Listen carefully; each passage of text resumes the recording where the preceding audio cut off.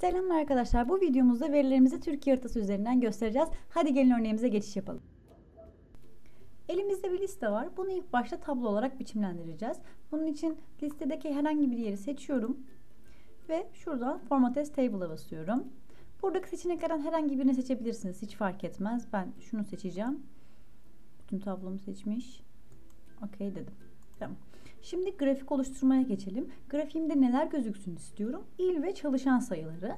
O yüzden şu alanı seçiyorum. Yukarı geliyorum. Şurada Insert'e tıklıyorum.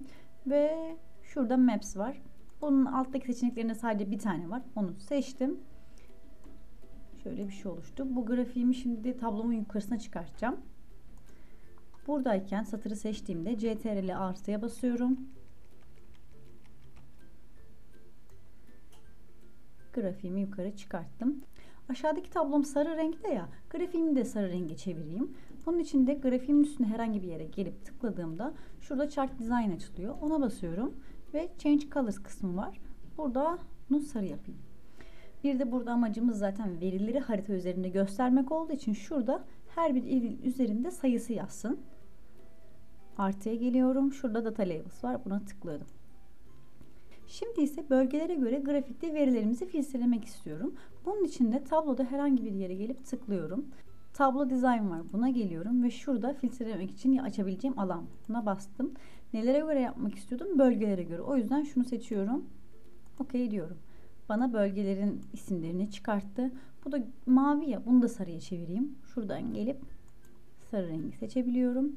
Ayrıca bunu grafiğin üstüne almak istiyorum. Bu yüzden de şuradaki columns kısmına 7 diyeyim. Yan yana gözüksün. Şurayı kısaltayım. Şurayı da genişlettim mi? Tamam. Bunu hemen yukarı alayım. Yine en üste geldim. CTRL artıyla yer açtım.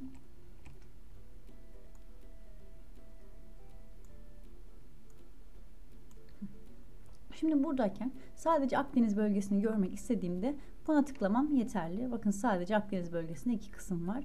Dilerseniz şurada hani e, dilerseniz şurada isimlerini de gösterebilirsiniz. Çünkü mesela şunun hangi il olduğu sadece üzerine geldiğimizde görebiliyoruz ya.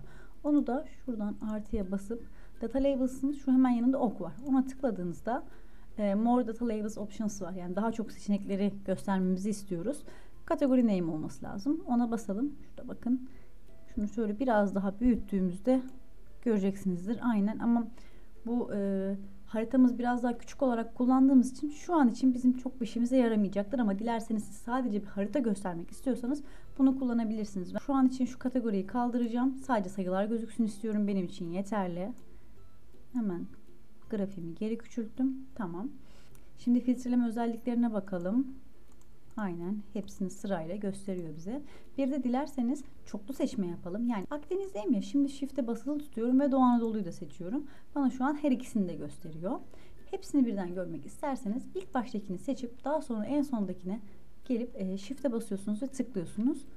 Hepsi birden gözüküyor. Ben şu anda bölgelere göre yaptım ya. Bunun aynısını iller bazında da yapabilirsiniz. O da bölgelerle tamamen aynı. Hemen onu yapalım. Tabloma geleyim. Herhangi bir yeri seçeyim. Şöyle birazcık ekrandan uzaklaşayım. Herhangi bir yeri seçtim. Tablo dizayn açılıyor yukarıda. Ona bastım. Alana geldim. Ve illere göre demiştim. OK dedim.